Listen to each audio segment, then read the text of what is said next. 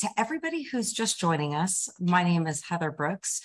Eve Hill, myself, and Amy Roberts are um, your Aging in Place Network admins. We are here to empower and educate everybody in the aging in place field by bringing in experts from all over the nation to talk about everything just that aging in place and what happens i mean it's a whole process i mean i was just having that conversation with even amy before you hopped on so i am going to let amy introduce you but before i do we are recording this so if for some reason you drop off of this or you don't um, you aren't able to watch it it will be on YouTube channel. Um, we'll have the link posted in the Aging in Place Network. Uh, so welcome. And Amy Roberts, go for it. Heather's absolutely right. So whenever we reach out to a connection, no matter what, uh, they can, however the link is, uh, something always comes back. And that's how I came across Esther again. So Esther and I started, she said, kindergarten. I didn't remember kindergarten, but we I remembered elementary school through high mm-hmm. school. And um, this one day I was at the Alamo Area Home Care Council and I had spoken, and then somebody after was somebody that Jose. Um, Jose, that's right, came up and said, You've got to meet Esther. I'm like, Oh, okay. I've only known one other Esther in my life back in high school. And then um, and then right after that, I was meeting with another mutual friend Lori, and she goes, Amy, you've got to meet Esther. And that was just within an hour. And I'm like, okay, Esther, we are destined to get t- back together again. And so I called her, and uh, the rest is history. But um, what I remember about Esther is her leadership. And um, and then the more I've learned about her life, uh, she's an incredibly strong, strong woman. And her her storms of life and the things that she has come through uh, is going to be your rainbow because she has um, turned things around to help others. And I'm proud to, to know her and bring her with us today. She's an author, she's an educator, she's a mentor, a business owner. She can do it all. so, everybody, Esther Pipoly.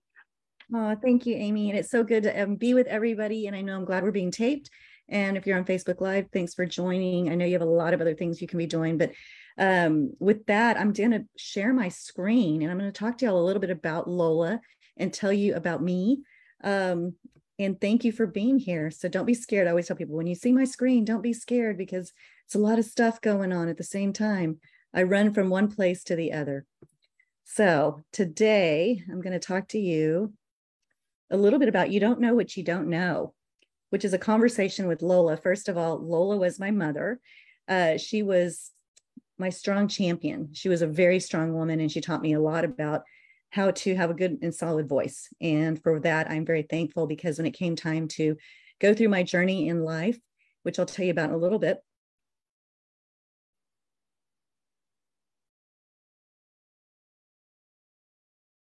in the back holding it holding down the family the fort and she was a phd she was extremely intelligent was a professor at ut austin and um and it's it's saying that my internet's unstable so i apologize if we freeze a little but i hope you can still hear me so with that let me get going here okay so in 2014 I this is me. I was sitting on the floor actually in a bathroom at my employer's office in December or November of 2014.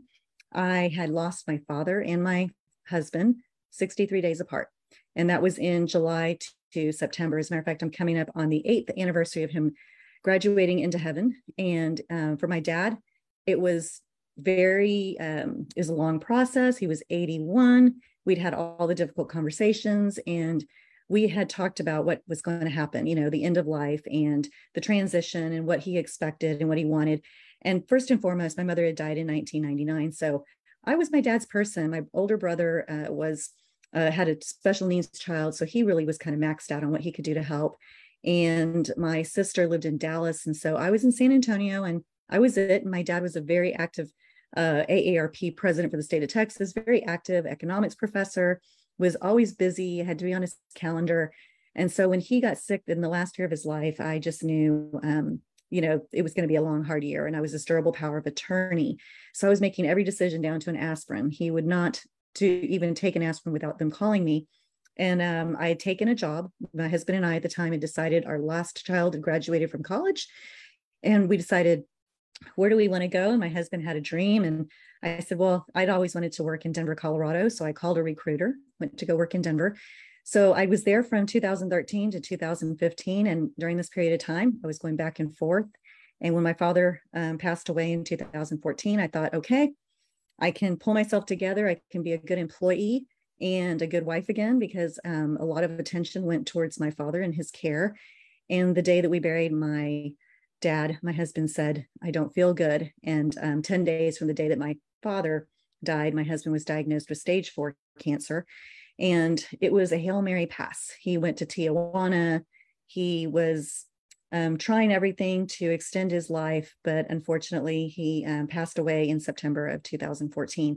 And I will tell you, I want to take a step back here because what people don't understand is that I was an employee. So I was working this whole time being a caregiver, and then for my dad, and then my husband gets sick. So then I'm a caregiver for my husband. And my employer came to me and said, you know, wow, your PTO, your your paid time off is is lapsed you really don't have anything left. Um, is there any way that when your husband goes to Tijuana for cancer emergency, Hail Mary cancer treatment, that anybody else can go with him but you?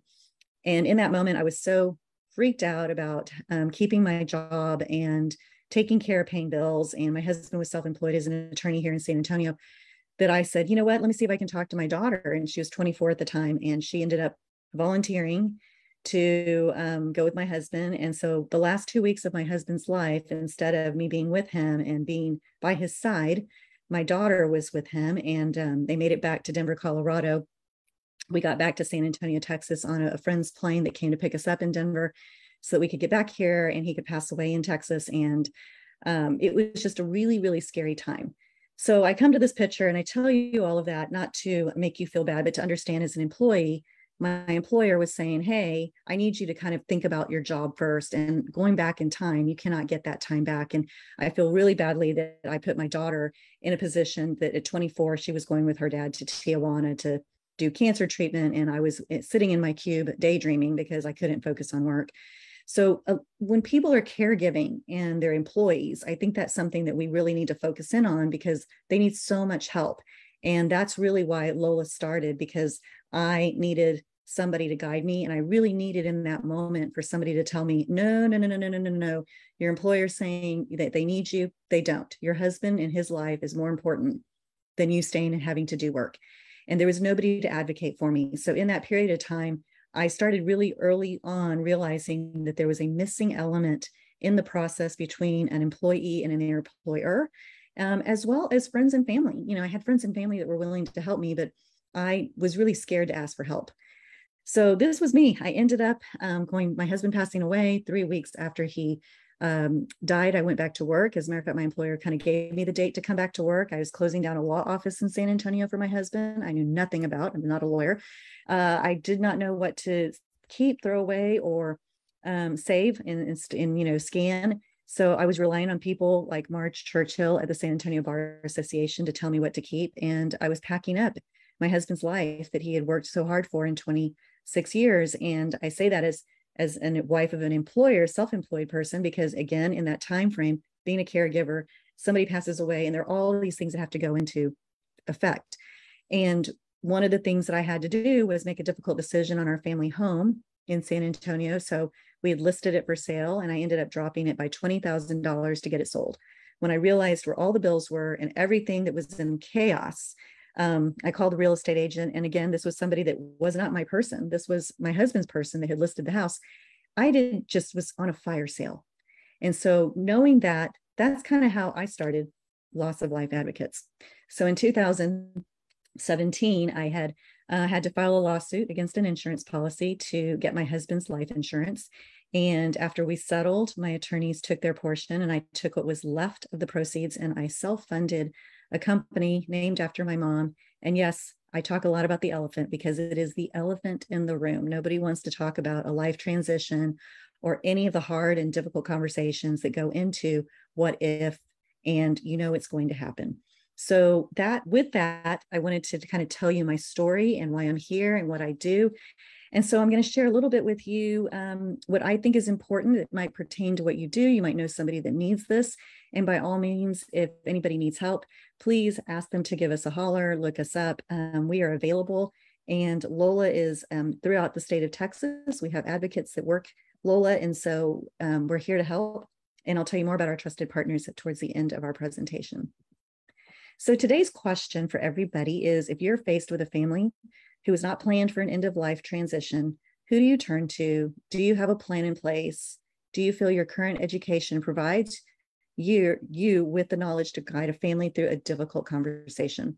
Well, this is actually a picture of a friend of mine who is a nurse at the UT Health Science Center. Her name is Debbie James. She is emphatic about educating around loss and life and the life transition. And uh, she, her and I worked on a board together, the Hospice Palliative Nurse Association. And so she teaches nurses and doctors about the end of life. She teaches them about hospice and palliative care and life transition. And so when her father took a fall after leaving church one day, he fell, and um, from there, his life declined rapidly. And um, she was calling me from the hospital and saying, Look, my dad just finally said to me, You know, I'm going to die. What do I need to know? I don't know what I don't know. So educate me. So this is Debbie's dad before he fell, and her mom, Dottie, and her daughter, and that is them before. So the reality is, what you probably think is that your wife or partner will know what to do. Your family will know who to call. Your CPA, lawyer, or financial advisor will protect the family. And the social worker, chaplain, or case manager does this for a family if they're in hospice. The truth is, the family affairs are probably in multiple places. The family becomes vulnerable. Friends and family will go into self preservation mode and theft happens.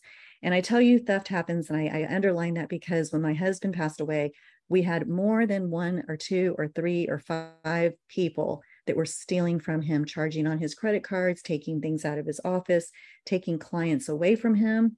There was a really, I had a really hard time finding anybody that would be honest with me because I did not know anything about a law office.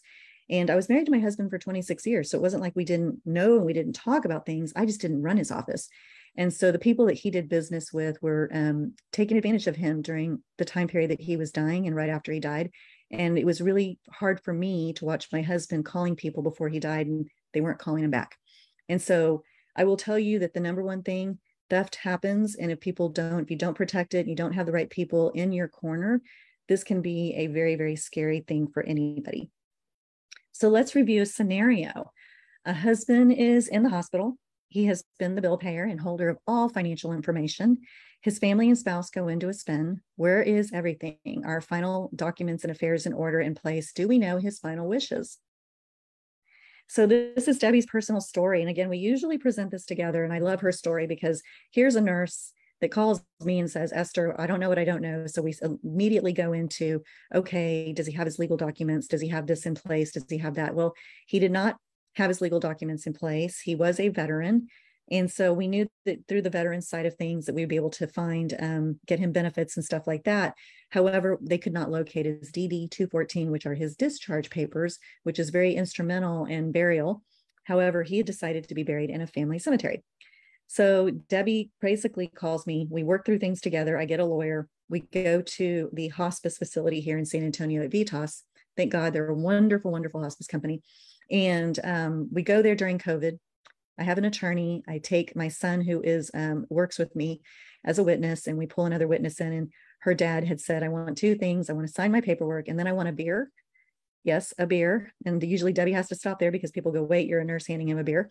And I want my dog. So yes, we go in there. The attorney talks with him. He sits up. He's got all of his faculties. He signs all of his documents, and then he um, i go and i notarize the documentation with the attorney we scan and we have all the paperwork for debbie and her family and it made a difference because without him having a will in place a simple will um, probate in san antonio and Bexar county starts at about $4000 for attorney's fees. With a will in place it sometimes starts at 2000 just depending on the level of complexity and the amount of assets. But that is the difference. And when people ask me well off the top of my head how can you save me money? I'm, i always start with do you have a will?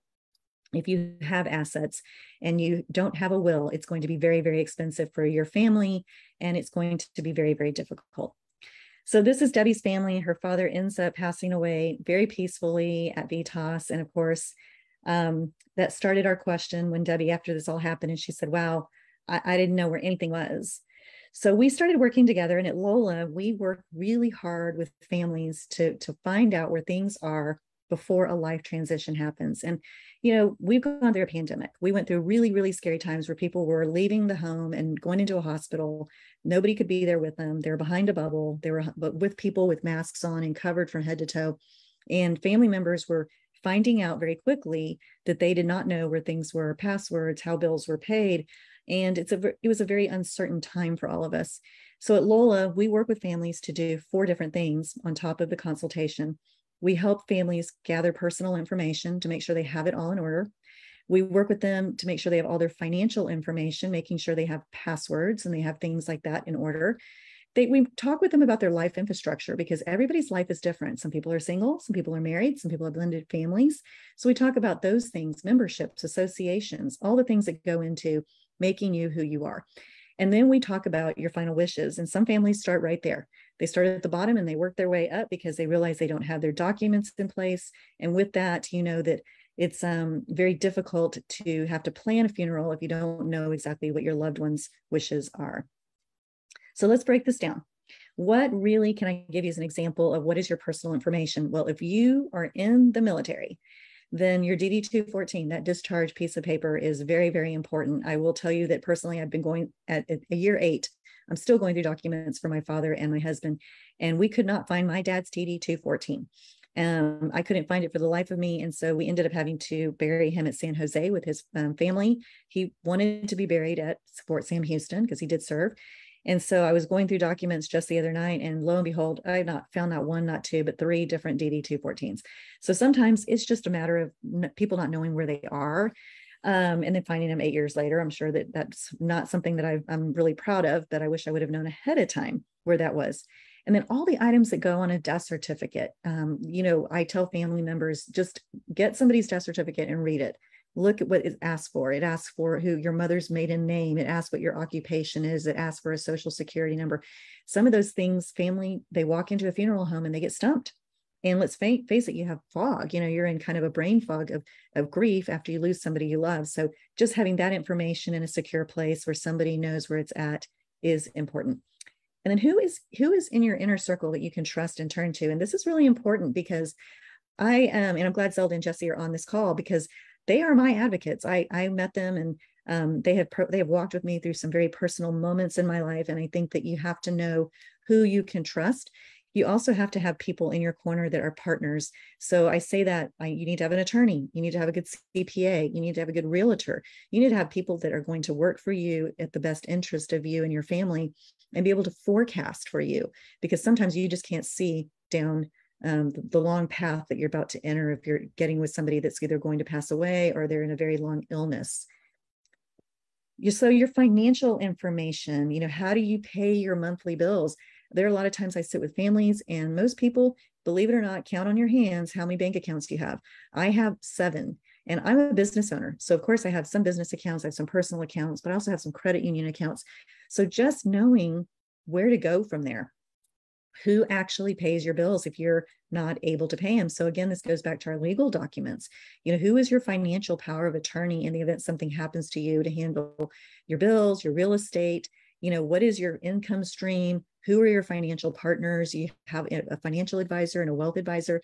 Many people come to me and think well i don't have a lot of money but i so i can't afford a financial advisor. There are a lot of great financial institutions and financial advisors that i work with as partners that will have a triage you know conversation with a family to say okay let's look at what's coming in. Let's look at what your budget is. Your husband passed away. That income has gone away. Your kids are over 18 you don't qualify for um, any time of social security for him yet. That was that was my truth and reality.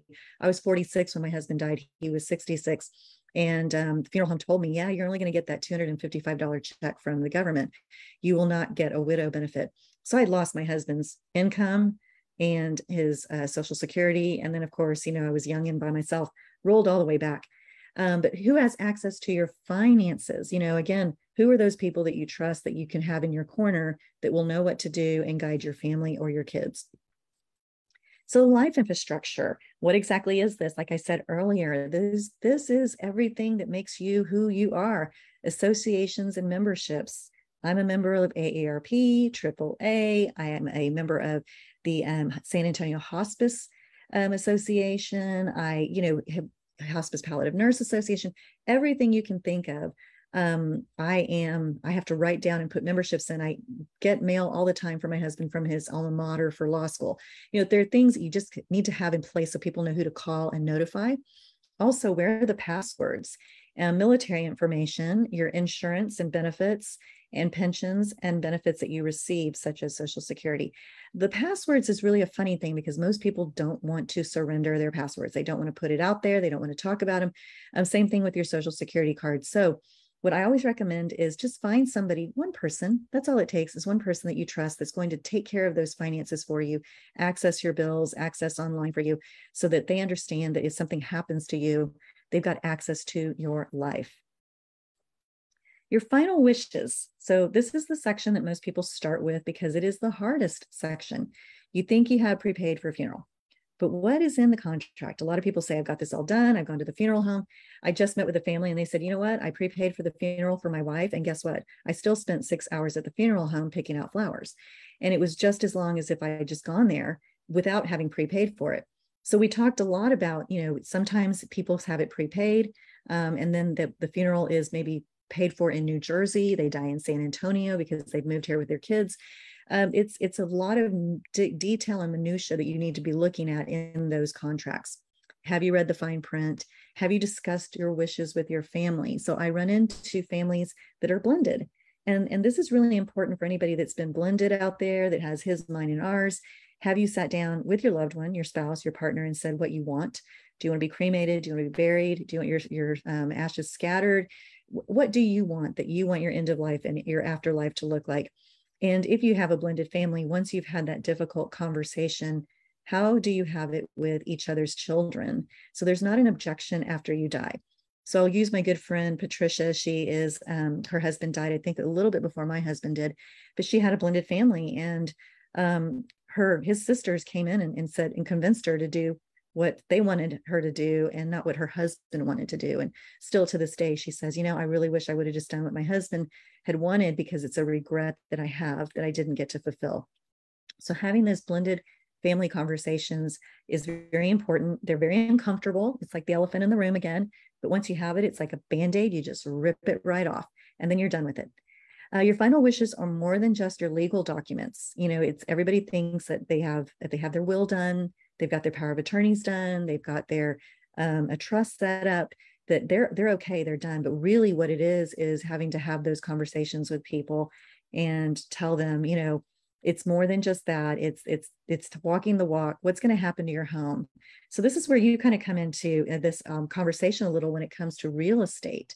Is you know where do you um, you have a client where do you draw that line and say look your your mom's going to die your dad has alzheimer's what's going to happen who's going to take over uh, who's going to live in the home what's going to happen to your dad what which one of you is going to take um, help him with guardianship of making sure that he is taken care of? Do you have a budget for that? So just those little things when people say oh i've got everything prepared and i've got everything documented um, with my lawyer or my financial advisor it really is more than that. It is having those really hard conversations about looking at a family and saying there's more dynamics here then you really want to face, and somebody has to have this difficult conversation. And are your documents updated and have you reviewed them? So I love this. I, I go and present um, to senior care homes in San Antonio, and they say, Yeah, I've got my will, it's all done. And I ask them, Well, how long ago did you get your will updated? You know, how long has it been since you've had an attorney review it? And they say, Oh, it's been like 20 years. Like, and I'm like, Oh my gosh. So, yes, if it's been more than five years, things happen in five years. Have you sold something? Have you bought something? Have you moved into an independent living facility? Um, what has happened that that would be that would make that change for yourself and that will become outdated? So let's face it, there's a lot you don't know. Um, and we're a little past mid-year. My gosh, we're almost into fourth quarter. I can't believe the pumpkin spice is out. And how can we start finding ways to guide families through all of the planning and emotions? Are you able to have difficult conversations about the past few years behind you and think about the years ahead of you with your loved ones?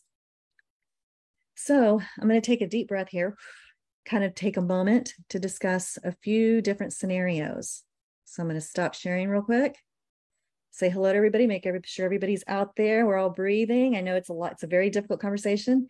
Okay, Alba, thanks for joining. So Alba Franco, she's one of my friends. Thanks for sharing your evening with me. Of course. Okay. So this is something that I bring out when I speak, and I'm going to try to make this bigger for you to see. But these are scenarios that I walk families through when I go out and I talk. So, scenario number one is loved ones in the hospital. The case manager approaches and says they can't go home. So, where do we begin with the scenario? Um, did they have a plan for plan, paying for a facility, um, passed approved for Medicare days? As we all know, Medicare is a very tricky thing. Um, not everybody is on Medicare and Medicaid. Um, who's overseeing the care plan? What family member? Who's taking point? Who is overseeing the bills being paid? Who is overseeing the home and pets? Most important. We can't forget about our four-legged friends.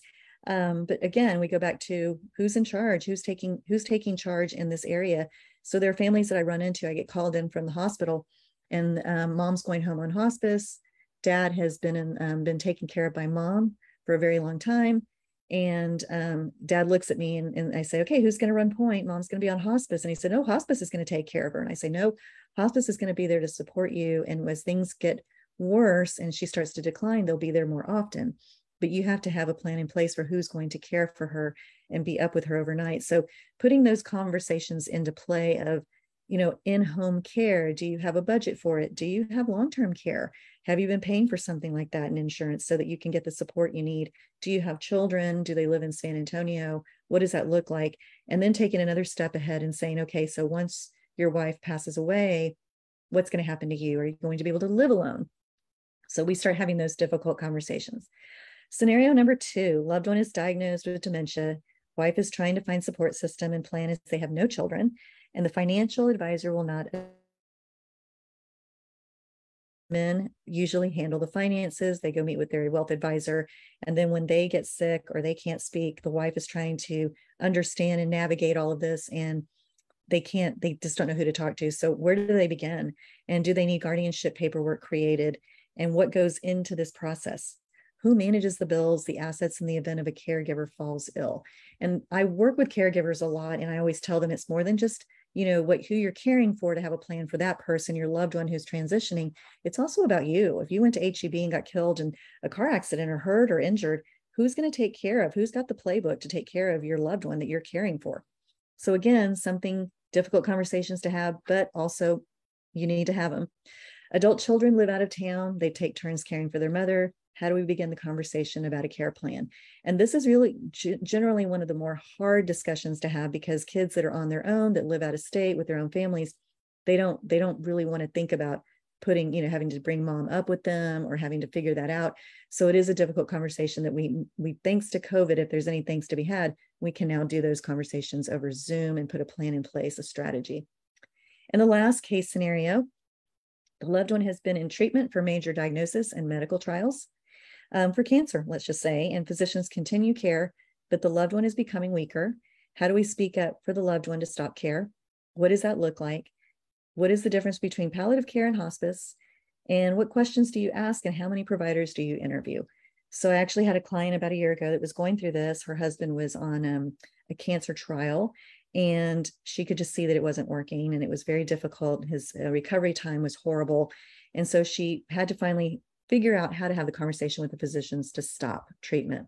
Um, her husband was at the point where he was doing it for the family. And so when she finally said no we need to stop and we need to start talking about palliative care and hospice she came and said what do i need to know? So palliative care if you don't know is when you are still undergoing treatment you're still undergoing chemo or um, dialysis or anything like that um, you can have palliative care, which is treatment for symptoms, treatment for um, anxiety, treatment for comfort. Hospice is when you've decided to stop the kidney um, dialysis, when you've decided to stop care, stop chemo, and just be comfortable. And I want to be really careful here because there are two things you need to know about hospice. Right now, providers don't want to ever give up on clients. They don't want to give up on their patients. So sometimes people access hospice too late. And you don't realize that hospice is for the family. It's for the it's for the loved ones and the person that's going to transition. They're there to make the, the loved one comfortable and do some pain management, but also they're there to provide a bench for the family so that they have people that they can talk to and there's chaplains and social workers and you know there's um, other nurses and medical assistants that'll come and help and support the family and hospice can go for a long time. It's not necessarily a short period of time. So it's easy to put somebody in a position where you, they don't want to give up. They always think hospice is i'm going to die. It sometimes will take a year. I think i have an aunt that's actually on hospice. She's been on it for two years. So sometimes just having that extra bench strength is there for you. But with hospice some people just have providers that just want to keep going and they don't want to give up. And other times it's just a hard conversation to say, you know what, let's just get comfortable. And we have had patients that we worked with that um, go off of hospice. They actually get better. And so they go off of hospice for a little bit. So I always want to warn people that, you know, it's not always um, bad, you know, it's not always means end of life, um, but it's something that that you know it's a good conversation piece to have. And I, and part of my partnership with my trusted partners is i have hospice people that educate palliative people. I have you know all kinds of educational people around me because it's me throwing the ball to them. It, we're quarterbacking. We're making sure that we're getting people what they need. Okay with that taking a pulse here. Everybody still good? Okay. All right so we're going to continue on and we're going to take a little bit of a short turn. So this is one of my favorite pictures because if you like elephants like I do, and I love the bunny, and they're sitting there looking into the sunset, and they're just being quiet and still, which is sometimes what caregivers need. So we've gone through the scenarios. I'm going to push through these real quick. So let's talk about being intentional. And this is where I get a little mushy because it's the part of my my my conversation with you about you and if you're in this um, arena of helping people and um, going through that transition and after loss and grief and working with families um, having to sell a home or having to stage a home or having to get a home ready for um, like we, amy and i were talking earlier about our parents are aging they want to age in place but they've got lots of stairs. You know it's having these conversations are hard and so sometimes you need to be able to take care of yourself. And as caregivers um, i want to talk a little bit about love because love is the product of truthful communication. Love is the willingness and ability to allow others the right to make their own choices for themselves without any insistence that they satisfy me. And loving myself is having the willingness and acquiring the ability to allow myself the right to make my own choices for myself without the need for the approval of others. Self care while caring for a loved one is knowing when to take a break, having resources to turn to, not being afraid to ask for help, and understanding you are grieving and you're grieving your loved one while they are passing away. This really works when we're working with families that are caregivers taking care of Alzheimer's patients or family members. Um, and I tell them you're you're grieving your loved one because they're they're they're going through their disease and they can't remember the same things that you do. They don't have those same memories. It's very frustrating. And that's the ongoing grief process that happens with families and it makes it really hard. So just understanding that and telling somebody it's okay to be okay to be sad. So grief you're not alone. Grief is the normal and natural reaction to a loss of any kind. Grief is the conflicting feelings caused by the end of or change in a familiar pattern of behavior. Grief is the feeling of reaching out for that someone who has always been there only to discover when i need them one more time they're no longer there. And grief is the feeling of reaching out for someone who has never been there only to discover when I need them one more time, they're still not there. So, emotional jails. Um, this is kind of important because their past is 10% of fond memories and 90% regrets, and your future is 10% planning and 90% worry or fear. Responsibility is what has happened, but how you choose to respond to the event today. Otherwise, you remain a victim in emotional jail. And we see people, right, that have had a loss and maybe even through COVID where they didn't really get that full funeral um, service to be able to have a, a, a proper goodbye. And so they kind of just get stuck in this emotional jail of not being able to move forward because they're just stuck in that place of total sadness and grief. So we like to talk a little bit about the present moment formula, which is knowledge isn't completeness Approval is an inside job. Unresolved grief drains energy and limits choices. and active grief recovery is essential to moving forward. There are many people that say, you know, I'm, I'll know when I'm ready to start going through a grief recovery program or getting a grief group or or cleaning out the house or selling the house, any of that stuff, right? Um, I always tell people like if you fell and broke your arm, like literally broke it, you know it's broken, you got to go to the emergency room. Would you go or would you wait? And most people go, well, yeah, I go to immediately to the emergency room. I wouldn't wait. And I'm like, it's kind of like that with grief. Just getting a little bit of triage right in the beginning so that you get on a good start is um, and having the tools to be able to function through that grief is really important for processing and and being healthy about it i'll be honest it's been eight years since i've lost my husband and my father it's still hard um, there's still moments when the holidays come around the corner and i'm like golly you know i really really miss having those conversations and um, so grief is an active process for people and some people stay in it a little bit longer some people are healthy about it and like myself, I can talk about it. So grief is something that we shouldn't be afraid of having conversations around. So fine, feelings inside not expressed. Moving into the fall of 2022 um, or 2023, knowing when to say I'm not okay. Or wait, hold on, 2022. I'm going a year ahead. Sorry, guys. Knowing when to say I'm not okay. This is important, especially as we start moving into these holidays. Knowing when to ask for help, having a team to turn to, really important getting your affairs in order. It's more than about than about your loved one you're caring for. It's about you too, and reviewing important documents.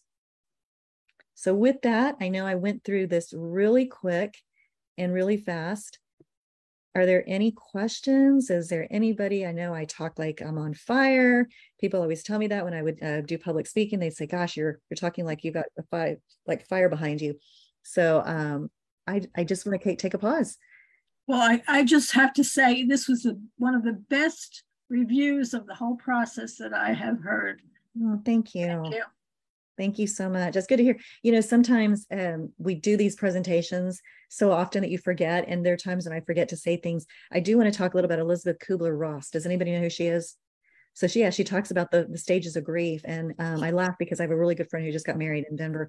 And um, of course carla died in san antonio. I had to go back to denver for work. And i get there and she says look i've looked up the stages of grief and i'm with you with everything except for the anger. I won't do anger with you. And i was like oh my god you know? But elizabeth kubler-ross actually wrote those stages of grief for the person that's dying. And when that person yeah when that when you see that person go through the process you're like oh I, I, know where you're at. So having that understanding because we've transitioned it and transferred it over to the mm-hmm. people family members for after a loss and stuff like that but i like to always tell people understand that we all live in a sea of grief that everybody is going through something and that loss is not just loss of life it's loss of a loved our loved one it's loss of a pet um, you know that's really it's tragic when you lose your animals. I've, I've lost my animal this year. I think zelda and jesse lost their mm-hmm. family pet. It's it's a hard thing to get over um, so that little hurdle and then you have um, loss of a financial situation and for employers out there if you're working with employers um, loss of trust in the workplace is a huge one since we've gone back to work and people have gone back into the workplace. It's not the same. People are different and um, if you get your trust violated at work, if you don't have a safe workplace to go to, it can be unbearable. And that is the beginning of the end for a really valued employee. So loss of trust is also really important. Anybody mm-hmm. else? Well, you you mentioned Elizabeth Kubler Ross's book, but I'd like to mention your book. Oh, um, you've you. got a book. It's called uh, "Lying on the Floor, Holding My Breath," and it's about your and what the process and how you came through it. So I just wanted yeah. to put a plug in there for your book. It's yeah. on Amazon. I can put the uh I could put the link in here. That'd be wonderful. And just so you know, I I, I made I wrote that book um, so that you could read it in 30 minutes. It's not supposed to be a, a, novel, you know. Yeah. I wanted people to read it and go, oh my God, I'm prepared. Um, but the reason it's called lying on the floor, you know, trying to catch my breath, holding my breath, was oh. because oh. I was holding my breath. Um, one of the things my daughter's a yoga instructor. So she kept telling me, You're holding your breath you're hmm. holding your breath. And I was like, no, I'm not. She said, yes, you are. And I go, you're right. I am holding my breath, trying to catch my breath because grief does that to you. You're breathing from the top versus the bottom of your, of your belly.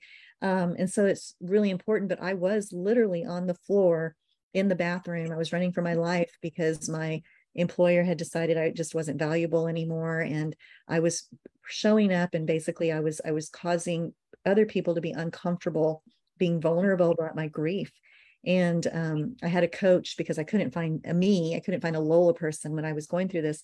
in Denver. So the closest I got was a business coach who immediately sent me over Brene Brown's um, speech TED talk on vulnerability. And she said, You, you are showing everybody in that organization how to grieve. And you know what? You don't stop. And I knew that that that was my third loss losing my job and really realizing that i had to run for my life because they didn't understand me. They didn't understand what i was going through. And i look back on that as an experience that i've created a whole corporate plan just based on that for employers because my employer just didn't know any better. They didn't know how to talk to me. They didn't know how to um, approach me but all they could say was wow you're making a lot of mistakes and we're going to have to put you on a PIP plan. And i was like you know lost my dad lost my husband and now i'm going to lose my job and it was a yes. very vulnerable place. So that book really came from being on the floor and um, having to figure out how i was going to get out and pack my cube and run for my life. And i'm grateful. I made it back to san antonio where better food better tacos friends family um, and out of those experiences came loss of life advocates. So um, I'm not grateful for the experiences, but um, grateful that that I had a, a, power higher than me that was telling me your story is not done yet.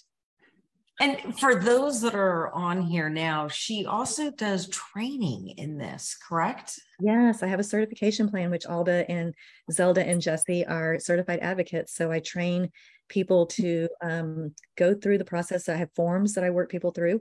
And through those forms, get the conversation going about um, blended families and oh, you have property. And you'd be surprised when people start talking about property. I had a woman that called me yesterday and she's like, My husband managed everything, but we have like acre, like hundreds of acres in Falls City, and I've got acres in Medina, and I've got my home, and I've got this. I need land people. I need people to help me. And, you know, so it's not until you're having those conversations and saying, tell me about your property, tell me about your real estate, that people start opening up and saying, oh, yeah, I inherited 1 16th of an acre from my grandmother and it's with all my cousins, and I don't even know what it means. And the spouse goes, what do you mean you've inherited this? What am I supposed to do with it if you die? like we can't even, Medina has like, it's a puddle, you know, I mean, there's nothing there. So some of the conversations through those forms, we do training and then we um, also walk through the case scenarios that um, I was showing you earlier. So we just do a lot of experiential, um, re, you know, working with people. And I actually just started a chaplain program. So we're working with chaplains specifically to get trained on Lola so that they, when they're talking with families, they can walk them through getting prepared. Um, because the chaplains usually get called in at the end. You know, they're there to do last rites or they're there to have those hard conversations. Um, so now chaplains are wanting to know, like, how do I get a family, get get them ahead of it, um, especially if they're a hospice chaplain. So yes, the training is um, it's amazing, and I've got some really mm-hmm. really great great people that work with me. Okay, so Alba says, and keeping the Lola plan updated is important. I had surgery a couple weeks ago and wanted to ensure my info was current. It took me three hours because I underestimated how much had changed in the last two years. Lesson learned take a few minutes and update at the point of change. Don't let changes accumulate because we never remember changes. Mm-hmm. I'm just going to speak from experience. Um, and you never know what tomorrow may bring. And that's by the way, Alba, that's amazing. Yeah, I, I think most of us would agree with that. Mm-hmm. Um, but I think most importantly is that education piece of the awareness because there's some great little golden nuggets here that we mm-hmm. all went an aha moment that you're right we don't think about it or we yes. don't have that conversation yeah. with family it's, a lot of people are so afraid to come forward and talk about it they just figure well put it away in a box and forget about it and leave it to somebody else to worry about. Oh. And then you find out that they pass away and everything is in chaos. But do yes. you think that comes from the our upbringing? Because yes. our upbringing and our generation before that, like our parents' upbringing and our, our grandparents' upbringing, was very much stuff it down. Let's no feelings, no this, no that. And let's not talk about those things. Banking's private, my financial stuff, even from the kids. I, I mean, my mom's visiting me, sorry, but she's not here. She's out. But my my mom's like that. Mm-hmm. You know, she it's it, I I guess, and that, that elephant is the in the room is yeah. I have these little. How do you approach it? They're this big, and I take them out. I put them up on like in the middle of a table and everybody's like, oh, that's so cute. And I said, you see how cute it is? It's little, it's taking up this whole room because y'all don't want to have this conversation. Like we need to address it. Let's get it out of the way. Let's just have a hard conversation. But I agree. I mean, I think that some people, um, my mom and my dad, you know, didn't really talk about it. My dad didn't talk about it till my mom died. And then, um, you know, when he was like, okay, you have to know everything, I was like, whoa, wait a minute. I don't know if I want to know everything. But thank God we'd had all the card conversations because I I look back on it and I think oh, if I did not know what you know even down to the pacemaker, like I have a pacemaker. Here's make it. I made a copy of the card to put in, in in my paperwork so that in that at the end of my life, the, pacemaker is going to try to keep me alive. I need you to make sure that's off. Um, and so just the little things, you know, that people don't talk about. But I think my dad was forced to it, talk about it because my mom had died like you know if, if he wouldn't if she wouldn't have died he would, probably would have never said anything to me um, but yeah i mean i think that loss and grief and all the things you know we're not supposed to have the feels and i think that the pandemic did bring that out and more and more people are t- wanting to talk about it and needing people to talk to so um, we are really good about our partners and i know i said i'd talk about that um, because amy you're a partner you know you work with lola jesse and zelda partners um, they work with lola for liquidation i have a lot of great people that just I can't do what I do and all the and everything that we do as Lola advocates when we're working with a family, we quarter we quarterback. You know, I'm not a lawyer, I'm not a financial advisor, I'm not a real estate agent. I just know really fabulous people. And those fabulous people make Lola look good. Thank God, because it's my mom's name. Um, but with but without them, I would just be walking around like babbling, talking about this. And people in the very beginning were like, I don't understand what you do. And it's very clear now. They're like, oh, wow, you're that person that when they were taking my mom off the breathing machine at the hospital, the nurses were calling you to explain what was going to happen to them a second time because the family couldn't understand. So again, I'm just, you know, a soft place to land and with compassion and empathy. So if y'all need anything, you know, doors always open for anybody. Yeah, and you go out of out of state too. Like you could talk to people, right, yeah. over Zoom or whatnot. Yeah, I've had. We're not some, all in Texas, so. No, I had a, a family that uh, a good friend of mine that called me. I, the husband and husband called me from a plane, and said I'm on my way to Anacortes, Washington, where my mom and my sister live with the twins. They had two twin nephews. He had two twin nephews that were nine, I believe, and um, there was a house fire, and one of the twins died in the house fire. And he called and said, "I don't want anybody talking to my mom or my sister." I want you to be point of contact for farmers insurance. And so I was dealing with five farmers agents investigators, um, funeral homes, medical examiners, fire department officials. And so sometimes we're just that communication for people, but we've worked with families in Seattle, San Diego, and Connecticut. And um, so really, COVID did kind of expand services for us because we realized that we don't have to be in a room to touch them.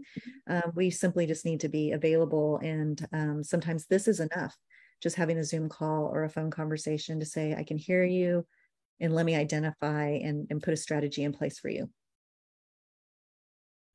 Yeah, I see you also do conflict res- I'm sorry.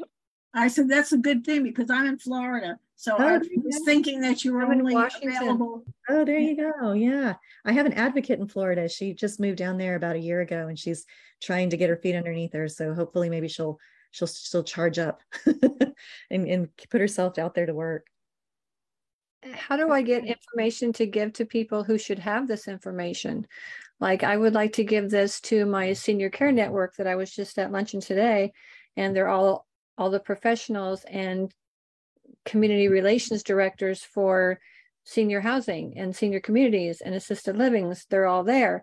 How do I get this to them so those mm. people who are in the homes already mm-hmm. that have memory issues or dementia or or all this how do i get this to them and their families and so i can have that service also well, if you want to um, email me at Esther at Esther E S T H E R at loss of I'll have, I'll have Eve, Eve go yeah. ahead and put it in the chat box for yeah, everybody. and you can email me and I'll send you information. I have a wonderful admin that is working with us now. I finally got to the point where I have an admin. I was like, oh my gosh, it sounds so sound sounds so official. And then I have a researcher. One of my our childhood friends, Amy and I, have a friend that she is rabbit down the hole. She is Johnny on the spot. I can give her anything um, but we can send information over to you and some some flyers and and um, anything that you need. I mean, even if it's just emailing you some of the the marketing materials that we have, we're happy to do that.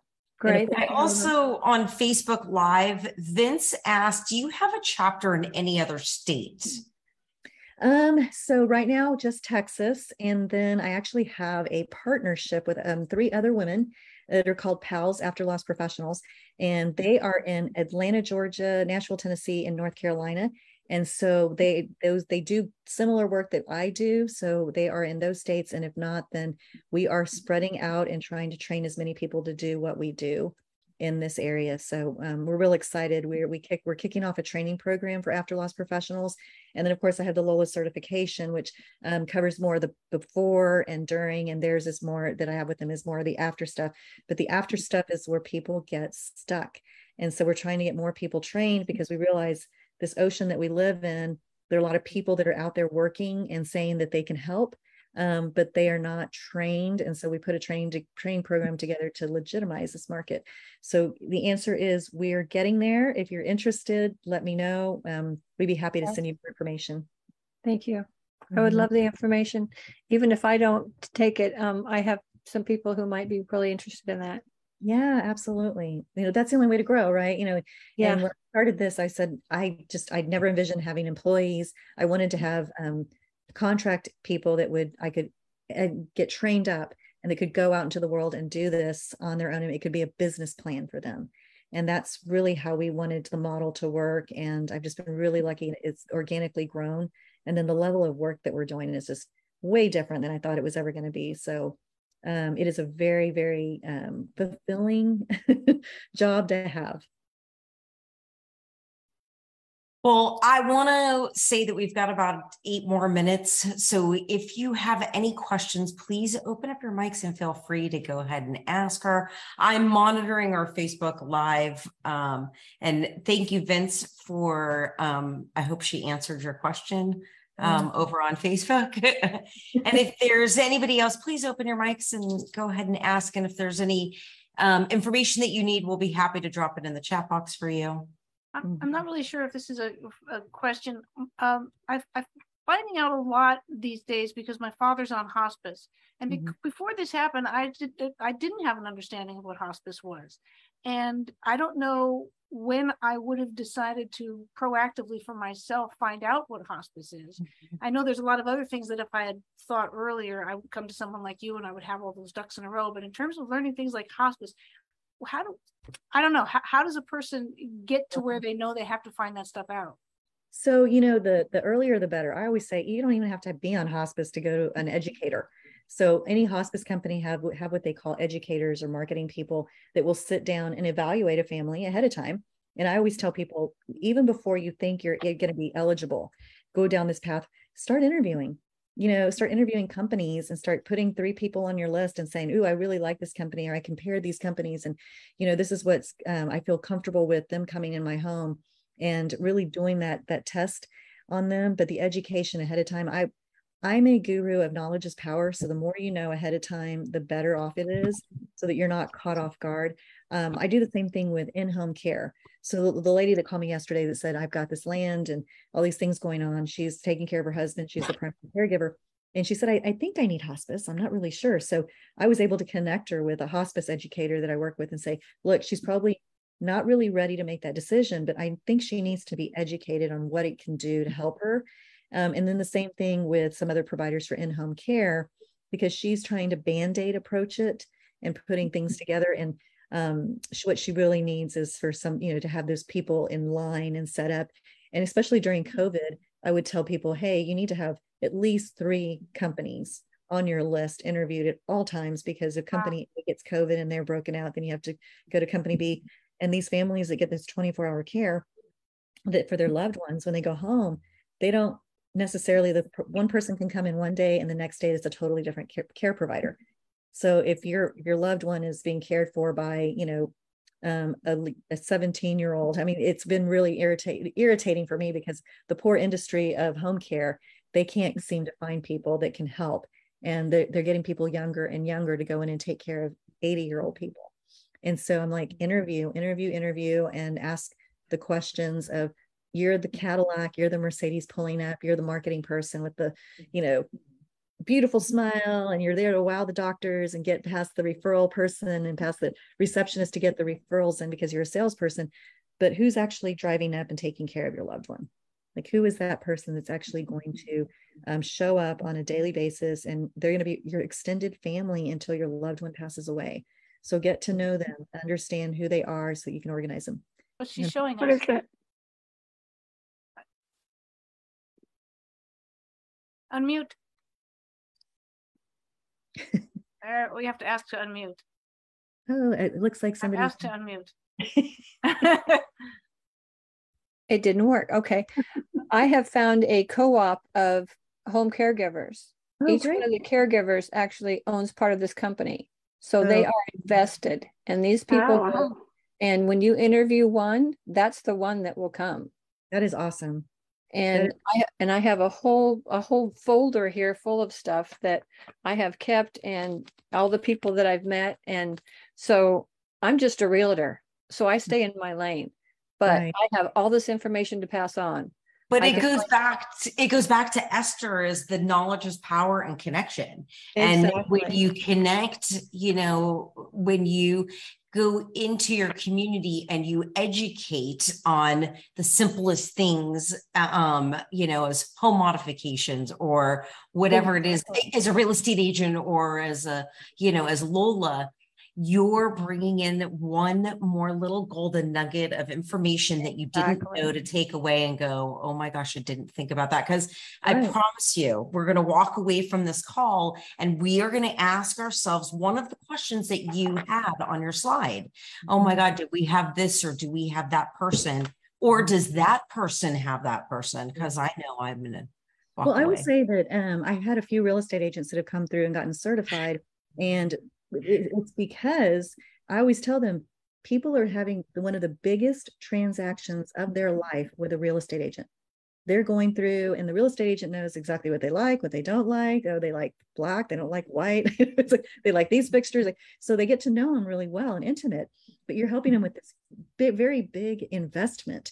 So if something happens to that family, let's say the husband and wife are young, everything's good, husband gets in a car accident and dies, you want them to call you back because you're the real estate agent. You're the person that helped them get in the home. Now you're helping them look and uh, evaluate that strategy. Hey, wait, you didn't take out the mortgage insurance. So now we got to figure out can you afford to stay in the home without your spouse? So, you know, it's a, it's a conversation. So I always think the real estate agent is actually a quarterback, just like a Lola advocate, because they're the ones that are saying, hey, you're getting ready to, to get in over your head, or, you know, maybe if it's one of you died, do you have, what do you have in place? So the Lola forms, I have a few real estate agents here in San Antonio that actually got certified and they go through the forms and they gift them to families as they as they buy the house and then they walk them through as an advocate and they're like okay so if anything happens heart attack stroke anything good bad soccer game graduations i want to be your person. I want to be that person that travels with you through life because you're we're going to age either you're aging in place in the house or you're going to have to make a change at some point and move out.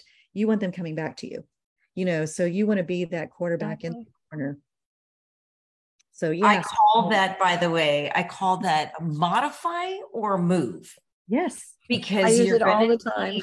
to modify your home or move out of it. And if whatever your line of work is, but if you are able to accommodate somebody at some point with that modify or move and transition either educationally or and or with a sale of a home, it's that much better. yeah Helps it's community. it makes a difference you know when i'm working with families that one child you know the mom dies and the kid the daughter's been living in the home with the dad and so she's trying to take care of dad and i'm like you know you know you've got medicaid this five year look back thing. It's a whole strategy you know and as a real estate agent you're actually kind of in that sweet spot mm-hmm. of being able to guide people down that path and saying look you know we're seeing these things happening. If you're really involved in keeping up with them you're aging or your parents are aging there's a mm-hmm. five year look back. There's a lot of things that go on too. If they're going to need 24 hour care or medicaid um I, I read an interesting thing about that.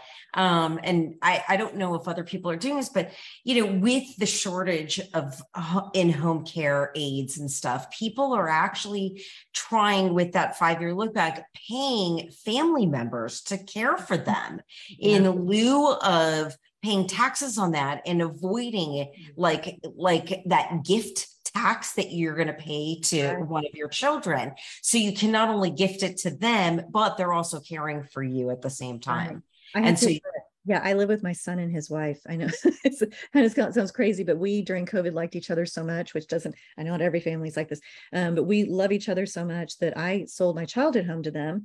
And then earlier this year, um, in May, June, we sold the home and we got into something bigger to accommodate all of us. And it's kind of like when people ask me, wow, you don't have your own space. I'm like, I actually do. I have a very great, they have a really great living situation because they're on one side of the house, I'm on the other. And the generational home is coming back because I know that if I get to the point where I can't age in place or they need to put me in a home, I've got my strategy set up. Because the hardest thing is that real estate, you know, is to liquidate. Do we keep it? Um, transfer on death deed.